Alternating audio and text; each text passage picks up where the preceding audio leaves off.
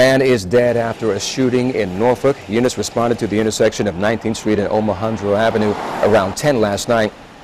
Now that's directly across from Ghent Elementary School. Police say the victim died of his injuries early this morning. His name is being withheld pending notification of relatives. Police have yet to release suspect information or a motive. If you have any information that could help police with this investigation, call Crime Line at 1-888-LOCK-YOU-UP.